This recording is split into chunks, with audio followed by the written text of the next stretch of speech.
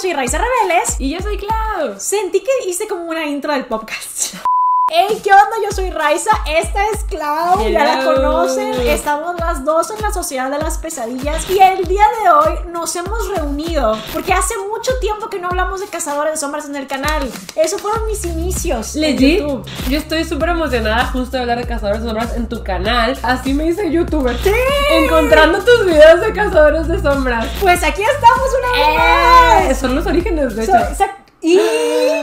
Pero antes de empezar voy a platicarles un poquito de nuestro sponsor del día de hoy. Como saben, yo siempre les hablo de la importancia de la salud mental y la salud sexual también está ligada a esto. Por eso hoy estamos trabajando con Lelo, que es tu experto en bienestar sexual favorito y está celebrando su vigésimo aniversario de liderazgo. Los orgasmos te ayudan a mantenerte sano tanto física como mentalmente y es importante que podamos empezar a hablar de esto sin vergüenza para poder avanzar hacia la educación y la comprensión sobre el sexo, la sexualidad y la salud sexual. Aquí les muestro uno de los productos que pueden encontrar en la página. Es el Zona 2 masajeador sónico de clítoris con 12 niveles de placer, impermeable y tecnología Sensonic para una nueva sensación de placer al alcance de tu mano. Traté de decir eso de corridito, pero fallé, em, entonces voy a admitir que eso lo tuve que leer. Tómate tu tiempo para ti y deja que Lelo te ayude con eso. Entren al link que les voy a dejar aquí abajo en la descripción para que puedan ver este y más productos. Y aprovechen el cupón de descuento que les voy a dejar, es Zona30 para obtener un 30% de descuento. Muchas gracias Lelo por patrocinarnos. En esta ocasión lo quería hacer porque tenemos mucho de qué hablar. Salió la trilogía de The Last Towers, Las Últimas Horas. Ajá. La secuela de los Infernal Devices o los orígenes. Ajá. La verdad es que está buenísima, pero también tengo mucho que discutir. Y hace mucho que no tenía esta cosa, es que no me puedo quedar con esto, tengo que discutirlo con el mundo. Y por eso nos decidimos reunir. Además, Ray y yo tenemos experiencias muy diferentes porque Sí. yo las estoy leyendo conforme fueron saliendo, pero Ray los leyó de que en una semana en un fever dream, Sí. que lo único que hizo fue leer Cazadores de Sombras. No hacía nada más. Y el último libro sí lo pudimos leer juntas y ahí estábamos de que discutiendo un montón y así fue como salió la idea de que sí tenemos que discutirlo también Sí. con todos porque hay muchas cosas que hacer. Vamos a hablarles de la trilogía primero sin spoilers y luego ya vamos a pasar con spoilers. Vamos a avisar cuando pasemos a los spoilers para que no teman, no vamos a soltar spoilers de la nada. Sí, Pero sí podríamos soltar spoilers de los orígenes. eso sí, es que pues sí. Ajá. Pero creo que si estás leyendo The Last Towers, leíste los orígenes. Claro, claro, no tendría mucho sentido que no lo hiciera. Que a mucha gente ahora le intimida mucho Cazadores de Sombras porque sienten que tienes que leerlos todos. Loki sí, pero también sí entiendo que no tiene que ser así. Creo que es muy intimidante Ajá. que llegas y ves, hay seis, y luego hay tres, y luego hay tres, y, Y luego hay tres, y, y luego, luego- hay libros entre libros. Ajá, y luego el spin-off, es, es mucho material. Ahora, creo que para The Last Hours, si no leíste los orígenes, no que se te arruinen, no, sí se te arruinen. Creo que para The Last Hour sí tienes que leer los orígenes, así como para The Dark Art Devices sí tienes que leer la saga principal. Yo siento que no, puedes saltarte los orígenes. Digo, ya se te arruinó al final, ya sabes. Sí, es justo eso, es más que nada eso, que sí se te arruinaría si planeabas leerlo después. Ajá, pero creo que perfectamente bien los puedes leer. Sí, pues y es no que pasa nada. sí, sí se puede. No es la misma experiencia, Sí. pero sí le vas a entender. Pero sí les recomendamos Sí, los no, orígenes. totalmente.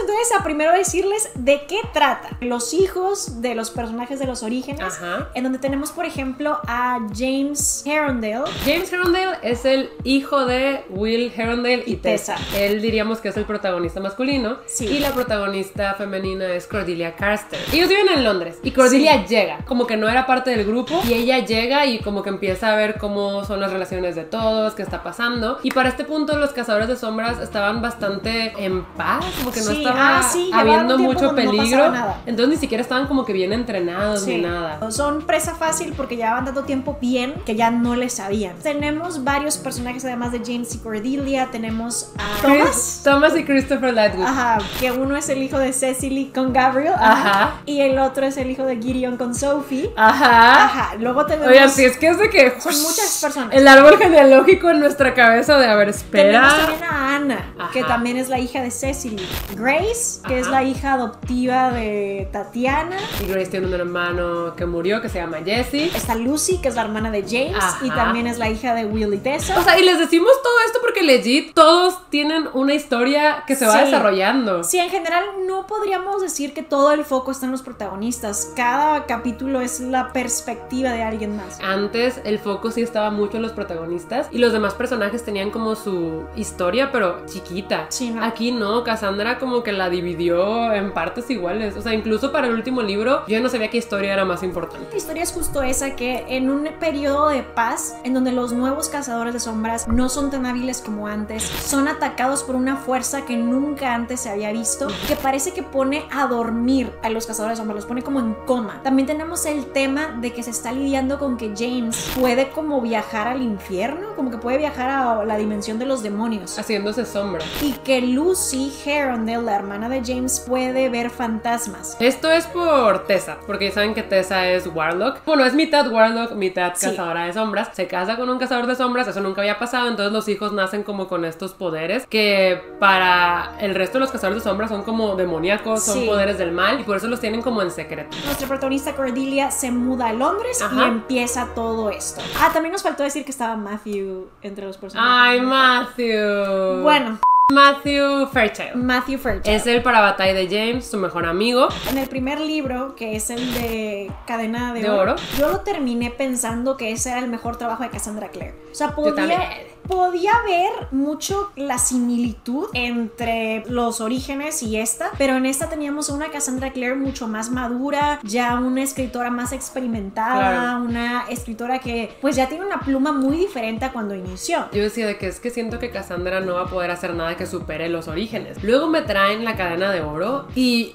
O sea, yo terminé fascinada. Obviamente le puse cinco estrellas. Dije, esta trilogía podría ser la trilogía que supere los orígenes. Porque la cadena de oro es así de bueno. Se muda a Cordelia, ella está muy enamorada de James Herondale, pero él parece estar muy enamorado de alguien más. Ajá. Que cuando yo recordé esa primicia, me dio este flashback a cuando Cassandra Clare vino a México y Editorial Planeta me invitó a presentarla. Le preguntó Nat, si no me equivoco, que te conté desde Ajá. el público, le dice, es cierto que estás trabajando en una serie de los hijos de Willy Tessa. Esto estamos hablándoles hace un Sí. montón, acababa de salir Princesa Mecánica casi. Ajá. Cassandra Clare dice, sí, va a ser una historia en donde está este personaje que está muy enamorada del hijo de Willy Tessa, pero él está muy enamorado de alguien más. Esa fue la primicia y hasta ahorita tenemos todo esto. Y es que Cassandra sí lo tiene planeado desde hace mucho tiempo. Y ay, es que es tan buena haciendo historias de amor. Más que nada, por eso leo Cazador de Sombras, por los personajes y las relaciones entre personajes. Ajá, yo también.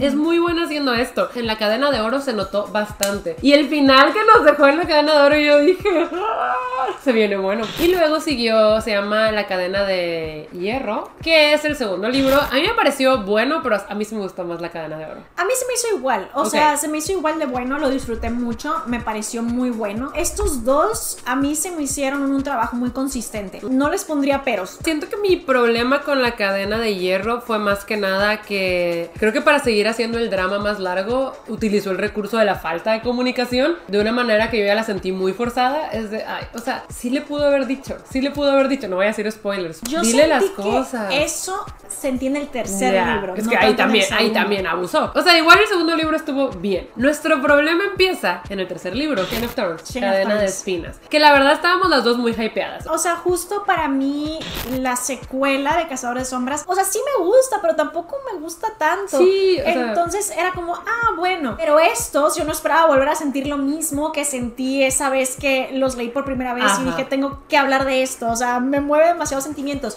Y cuando ya los leo y lo vuelvo a sentir, para mí era como me explotó la cabeza. Ay, no. Nos la pasamos muy bien. Eran Sí. conversaciones de WhatsApp de horas. Pero no, o sea, Sí. todos los días. Sí. Duramos como tres semanas solo hablando de Cazadores de Sombras todos los días. Es que sí, si ya le- leyeron los demás y no han leído este, es un buen libro, pero... Debatible. pero creo que sí se va a sentir que queda corto comparado con los otros dos. Yo siento que no es el final que merecían los personajes. Es sí. O sea, los personajes se merecían un mucho mejor final. Y no, no porque sea triste o feliz. Sí, pues como dijiste, Sí. les quedó corto. Porque digo, no es como que yo pueda decir yo lo pude haber hecho mejor, obviamente no, o sea, Cassandra Clare es una gran autora, por lo mismo que es una gran autora y en los dos libros ya había sido algo tan bueno. A mí sí me gustó mucho el final de la original, Dark Artifice está bien, Esa mecánica. Princesa Mecánica es un gran final. Me daba mucha curiosidad, curiosidad saber cómo lo iba a resolver, porque siempre ese, esa manera en la que lo resuelve digo como, ah, mira, qué bien. Y aquí em, lo sentí hasta apresurado tal vez. Y eso que está larguísimo. A ver, antes de pasar a los spoilers, básicamente, ¿qué tenemos que decir de conclusiones de la trilogía? que es muy buena, Ajá. leanla, incluso si no han leído nada de Cazadores de Sombras y solo van a leer una cosa de Cazadores de Sombras, yo les diría que fuera esta trilogía. Con todo y que el final no me encanta, creo que esta trilogía presenta a una Cassandra Clare en un muy buen punto de ella como autora, y aunque no tiene el mejor personaje del mundo, que es Will Herondale, vale la pena Pero sí lo tiene. Sí está, pero no es el protagonista. Claro. Creo que su mejor trabajo sigue siendo The Infernal Devices, los orígenes. Pero también creo que este es muy bueno. Solamente que para mí los finales son muy importantes. Bueno. Y como el final sí fue malo, para mí como que se fue en picada. Lo que me da mucha tristeza porque La Cadena de Oro es el libro perfecto. Es muy bueno. Pero sí es buena. O sea, como dice Ray, sí es buena. Y si quieren leer algo de la Cassandra más actual, pues denle chance a esta. O sea, Sí. los personajes son increíbles. Se van a enamorar de ellos. Los van a querer muchísimo. Eso es lo bonito de Cassandra. Esto obviamente que decimos es con cariño, no es que no nos guste. Ah, claro, ¿no? Somos las más fans. O sea, de todo lo de Cazadores de Sombras vamos a seguir Ese, leyendo. claro, a mí me da miedo cuando doy opiniones negativas.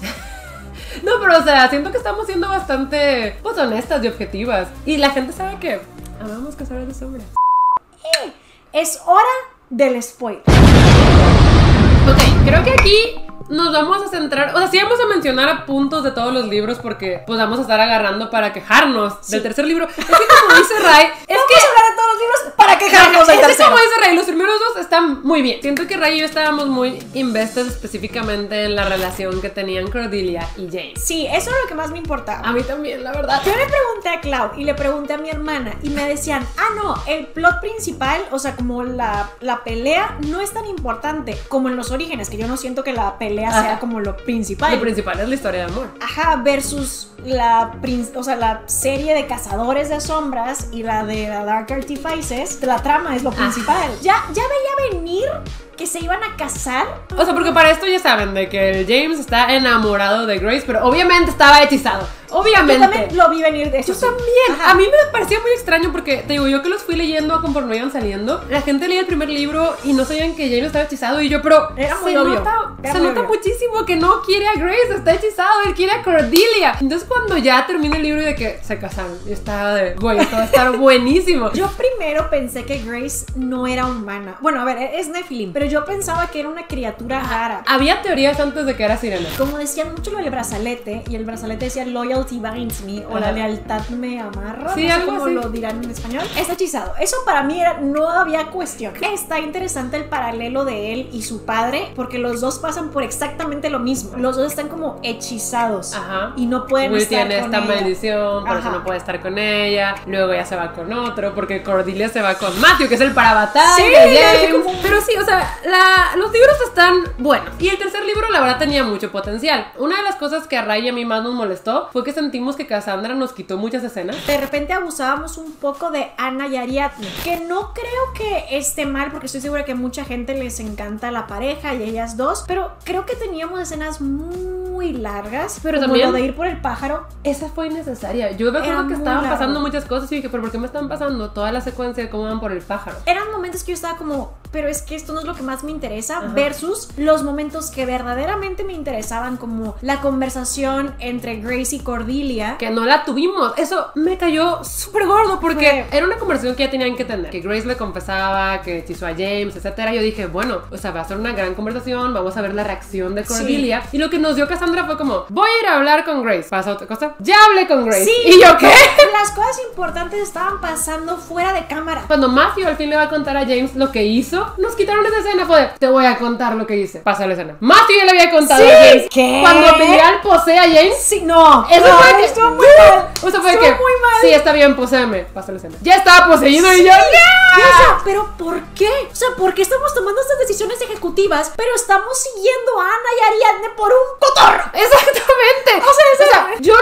a Cassandra se le hacían escenas como difíciles de escribir, le dio flojera. Es que no entiendo por qué tomaría esa decisión ejecutiva. Son escenas muy importantes. No sé, o sea, yo le dije a Clau que una parte de mí no quiere pensarlo, pero una parte de mí lo piensa. Como saben, Cassandra Clare tiene un nuevo lanzamiento, el de Swordcatcher. Yo no sé si se le juntaron las entregas y decidió darle prioridad a Swordcatcher y esta la dejó como Mocha. Ajá, exacto. Es que nos cortó escenas muy importantes. ¿Sabes Pero- cuál más? La, de las runas. No, ese es imperdonable. Le Ese fue como, ¿qué? Desde que se casan, están piense y piense que no se van a hacer las segundas runas, que es privado y que no sé qué. Y luego te dice un momento James en el segundo libro, oye Cordelia, a ti te ayudan a vestirte. Y ella de que sí, sí me ayudan a vestirme. Tal vez deberíamos considerar ponernos las segundas runas, aunque sean fake y nos las vayan a quitar, Ajá. porque luego se van a dar cuenta. Ella de que sí tienes razón. Y yo dije, en algún punto se las van a poner en el segundo libro. Nunca se las ponen. Sí tenía en mente que la idea era que se las pusieran fake, Ajá. pero luego como que dijo, no, no, no, va a ser un momento significativo que se, ponga, se las pongan bien, Ajá. o sea, de verdad. Ok, ¿sabes qué? Perdono la conversación de Grace y Cordelia, pero yo quiero ver cuando se ponen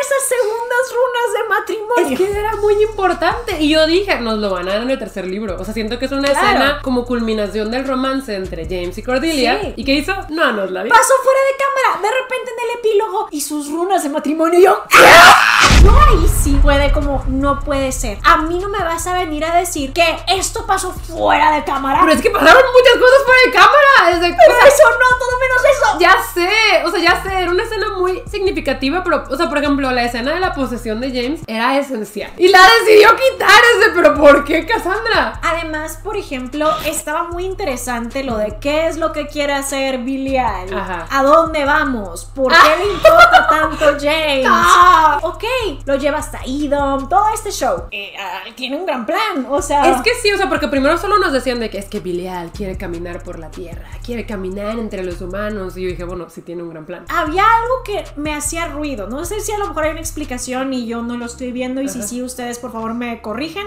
Pero desde el inicio, Bilial te dice que él no puede poseer a nadie y que por eso iba a tomar el cuerpo de Jesse. No me acuerdo si porque era un cuerpo que no tenía alma. Yo creo que va a ser por eso, porque ya no tenía alma. Pero el punto es que solo podía poseer tantito al Jesse y necesitaba el cuerpo de James. No podía poseer como a cualquier humano porque no aguantaban, porque Ajá. es un demonio. Ahora explícame, ¿cómo es que hubo una relación íntima entre él y la madre de Tessa?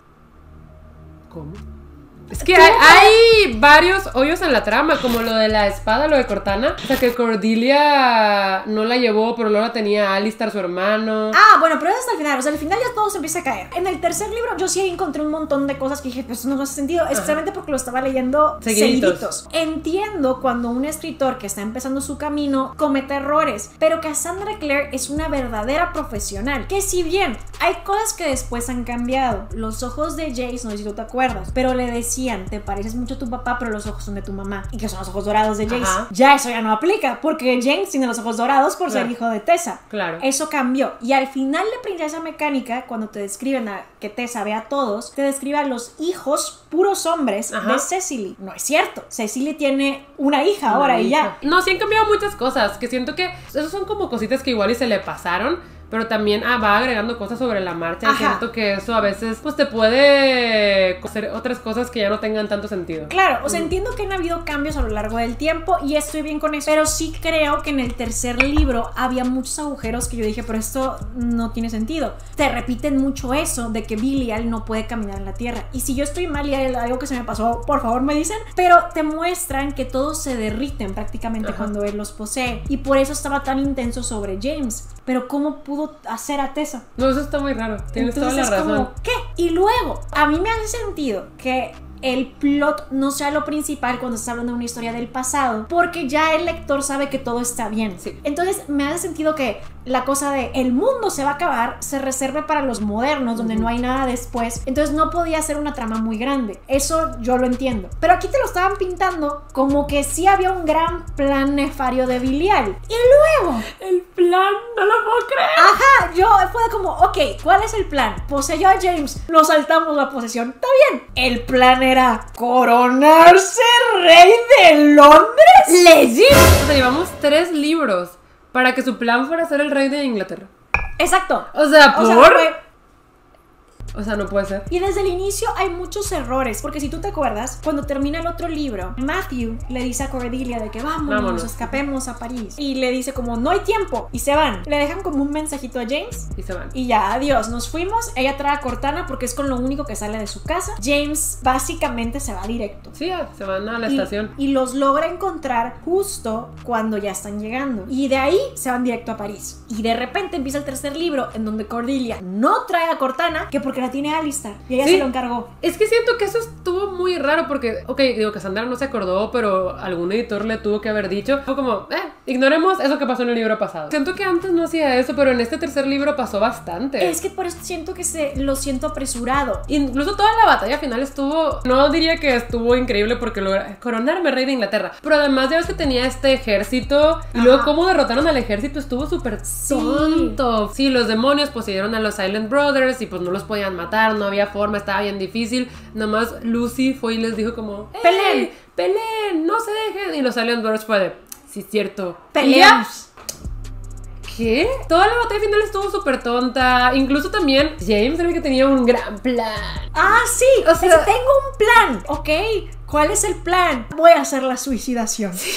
Y yo, Y que, O sea, ah, creo que me hubiera gustado que lo manejaran como James se va a sacrificar y ¡Claro! no hay otra", y que ya sepas que él tiene en mente el sacrificio. No él, tengo un plan, pero estaba de que tengo un plan y yo dije, ok, siento que esto va a ser súper Ajá, yo, ah, es otra cosa, no se va a sacrificar. Pero también esta es otra. Los demonios estaban bien idiotas. Ray hablábamos mucho de esto, de que, pues, tanto Bilial como Lilith son demonios que no inventó Cassandra Clare. Sí. Son demonios de renombre, que, pues, tienen un lore, que son conocidos y, pues, son milenarios. Y acá los engañaron trillones de veces un grupo de adolescentes. En general en la ficción no me encanta cuando metes a una figura existente, algo que está como en el consciente del mundo. Claro que adiós. Exacto, al o sea, si tú diablo. pones de Ajá. que no, ya es el top, o sea, entonces, ¿qué sigue, verdad? Y aquí justo esa era mi cosa, es estamos peleando contra uno de los príncipes del infierno y contra Lilith. Ajá. Y aún así es de quedaron como tontos. Sí, pero es que legit los engañaban de que, pero no contabas con que yo había hecho esto y esto y los demonios de, oh, rayos. Pero ¿cómo vas a engañar a un demonio que ya se las sabe todas? Los villanos de las otras series de Cazar de Sombras, pues de que Valentine, Ajá. Sebastian, incluso el de Infernal Devices, que este sí era un cero a la izquierda, Sí. o Annabelle de, de Dark Artifices, todos eran pues, personajes que inventó Cassandra Clare, pero acá ya eran como seres Sí. de las ligas mayores, vaya. Sí, o sea, casi casi ellos se enfrentaron a lo más feo que ha habido en todas las series de Cassandra. Ajá, y pues los derrotaron relativamente fácil, ¿eh? Sí. Por eso al final as a whole se sintió underwhelming. Ah, y acabaron. Y luego el epílogo estuvo súper X. Sí. O sea, nos quitaron la escena de las runas del matrimonio. Hola, soy Raiza del futuro y nada más quiero decir que me faltó decir algo muy importante que me molestó mucho a la hora de leer el libro, no sé por qué no se me ocurrió en la discusión, y es que mientras yo estaba leyendo yo ya sabía que Tessa tenía en el futuro una hija con Jem y yo pensaba, qué irresponsable porque pues ya supo lo que le pasó a sus hijos anteriores. O sea, ya sabía lo que le había pasado a, eh, a James y a Lucy, o sea, ya tenía esta idea de que ellos nacían con poderes que pues los volvían rechazados por parte de los otros Shadowhunters. Entonces yo dije como, qué irresponsable. Y luego al final me parece muy conveniente cómo se resuelve la situación diciendo que como ya se rompió la conexión con el abuelo, que entonces James y Lucy vuelven a la normalidad. Pero Tessa no. Tessa sigue teniendo sus poderes. Tessa sigue siendo Warlock. No tiene sentido. Ellos son los hijos de Tessa. También seguirían con las cosas heredadas. Entonces ahí me pareció demasiado conveniente y no me gustó. También vi por ahí en Twitter de que Cassandra quería hacer este libro un libro trágico, pero que Mm. debido a la pandemia decidió hacer cambios. Ahora, no sé si iba por ahí el hecho de que este libro se sienta raro porque a lo mejor tuvo que cambiar todo. Creo que en cuanto al final de algo que impacta al mundo, pues no podía hacer mucho porque en el mundo de Cazadores de Sombras estaban bien. Pero por ejemplo, hay una muerte que todo el mundo está quejando, que es la muerte de Christopher. Y yo también creo que se siente sacada de la nada. Hay, hay un rollo que te empiezan a justificar muy raro, que te dicen lo de que la gente ya le había comentado a Cassandra de lo del árbol genealógico, Ajá. en donde dicen que Christopher se queda con Grace. ¿Se queda con Grace? Y en el libro parece que sí apunta para Sí, allá. lo apuntaron todo que iban a quedarse juntos. Creo que después que Sandra Claire dijo, no, no hagan caso. Ah, sí, dijo, se pueden ese sorprender". árbol genealógico, olvídenlo. Y en vez de decir como nada más de que no, voy a hacerle cambios, fue como sorpréndanse y meten a una persona que dice que hace los árboles genealógicos de acuerdo a lo que esta persona se imagina. Ah, sí, es un personaje en los libros. Ajá, en el tercer libro. En el tercer libro. Que es como, ah, sí, esta persona hace los árboles genealógicos, pero como que a veces latina y a veces no. Pero porque Sí, o sea, Cassandra quiso justificar que iba a cambiar el árbol genealógico así. O sea, lo de la muerte de Christopher, volviendo a eso, o sea, yo sí siento que justo fue para sorprendernos. Sí. Es que no aportó nada. O sea, siento que a veces sí es necesario que un personaje importante muera. Sí es necesario, sí impulsa la trama, sí hace diferencia. Pero aquí nada de eso pasó. No, yo creo que el que iba a morir era Matthew. Creo Sí. que la, la escena en donde James lo está tratando de curar y que pasa toda la noche con estos eh, síntomas de abstinencia, Ajá. creo que no iba a despertar. Y acá de repente es como, y de repente Matthew se curó y se y paró aparte, y caminó. ahí sí hubiera tenido mucho sentido porque todos los libros nos apuntan a que Matthew podía terminar así. Sí. Y siento que eso sí habría sido un shock grandísimo en la vida de Y James. triste. Y lo de Christopher, obviamente los amigos lo, lo extrañaban y estaban tristes, pero siento que fue... Sí, él Eh. era el personaje que menos le daban foco. En realidad mató a alguien porque sí. Solo porque sí, y los personajes ni siquiera lo mornearon. Cuando vi que había un interludio y Ah, que sí. se llamaba Grief, yo dije, ah, esto va a ser para mornear a Christopher. Pero no, era porque también Matthew y James y Cordelia Sí. y se habían ido a Edom, como que estaban tristes también por ellos, y yo, ni siquiera le dan foco a la muerte de Christopher, nada. Esto fue otro punto raro en donde no sentí que debíamos haber ido a Idom. Creo que el objetivo de ir a Idom era matar a Matthew. Entonces es de, ¿para qué fueron?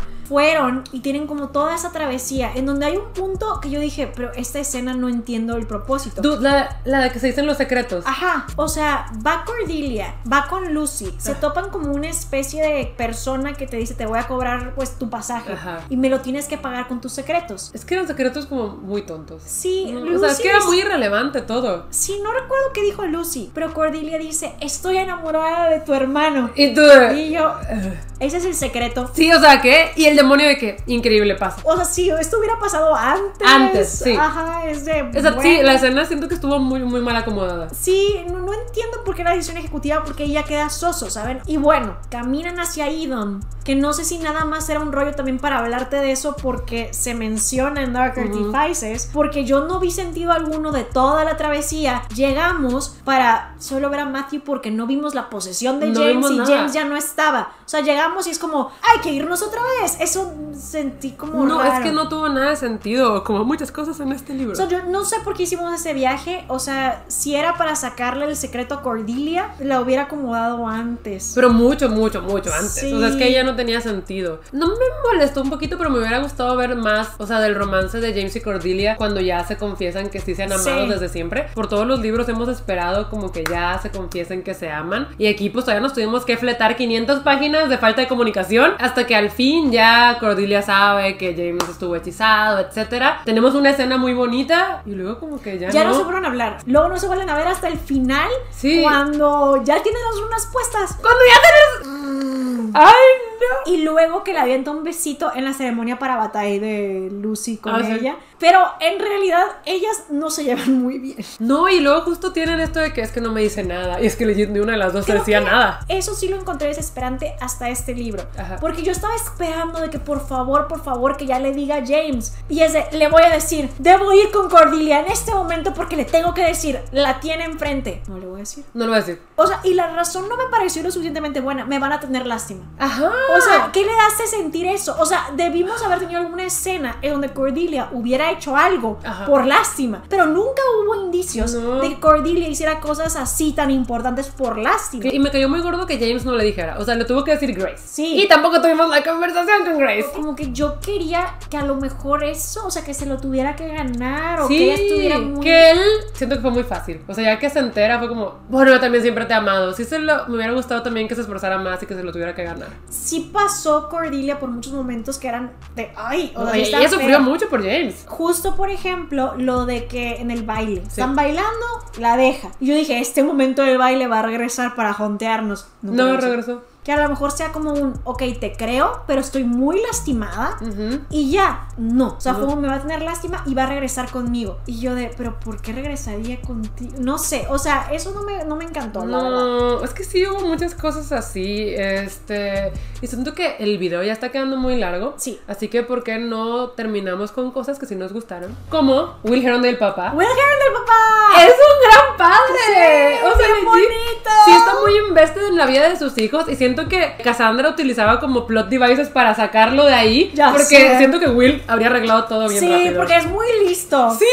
Ajá, ajá. No, y la verdad sí es un gran papá. Y las escenas en las que estaba eran, eran como gold, eran Sí. oro. Es el mejor personaje que ha hecho Cassandra Clare, punto final. Junto con Magnus Bane. Pero sí, pero Magnus en las- el, el pasado casi no se luce no, como se no, luce en no, el no, presente. no, no, no. No, Heron del al amor de nuestras vidas. Sí, la verdad. es una buena historia. O sea, yo los disfruté y los volvería a leer. Y les digo, hay ciertos diálogos que yo regreso para leer. Entonces sí están buenos. Solo creo que al final se sintió apresurado. Sí, sí, sí, sí, es lo que más me molesta, que pues esperamos tanto, tanto, tanto para que al final nos diera este libro como mocho y apresurado. Yo creo que a lo mejor tiene que ver con Swordcatcher. Él también, vamos no, a leer tiene mucho. quiera. Claro que sí. Pero sí, yo diría que la trilogía como tal es buena y sí merece la pena. El final no me encantó, pero aún así fue un libro que en todo momento me entretuvo. Sí, o sea, nunca que- diría que me aburrió ni que No. lo sentí lento. No, es un gran libro y creo que si no fuera un gran libro yo no estaría aquí sentada haciendo este video. O sea, creo que al final del día Cassandra Clare tiene una fórmula que a mí me encanta. O sea, yo soy una persona que puede comer lo mismo todos los días y que le gustan cosas muy específicas y esta fórmula me gusta. He tratado de buscar algo que me dé lo que me da Cazadores de Sombras y no hay nada. No. Solo Cazadores de Sombras te da como eso. Ajá, está muy extraño. No sé, o sea, creo que por algo es que me gusta mucho ella como autora y pues voy a seguir leyendo todo lo que saque. Por el final no podemos decir que esa trilogía es No. su mejor trabajo, No. pero creo que los primeros dos libros son lo mejor que ella ha escrito hasta ahora. Queremos escuchar su opinión, así que no olviden decirnos en los comentarios qué opinaron ustedes. ¿Qué fue lo que sí les gustó y qué fue lo que no les gustó? ¿Cuál es su personaje favorito? ¿Cuál es su personaje más odiado? Ajá. Estaremos leyendo todo. ¿Cuál es tu personaje favorito? Cordelia. Cordelia, sí. ¿También el tuyo? Sí. Sí. No, Will Eh, Herondale es el mejor. Will Herondale es el mejor personaje de todos. Podríamos hablar por horas de por qué Will Herondale es el mejor personaje. No de. Cassandra Clare, de la literatura. Lo, ajá. Pero bueno, gracias por escucharnos. Síganos en nuestras redes, las vamos a dejar aquí en la descripción y nosotros nos vemos a la próxima. Bye. Bye.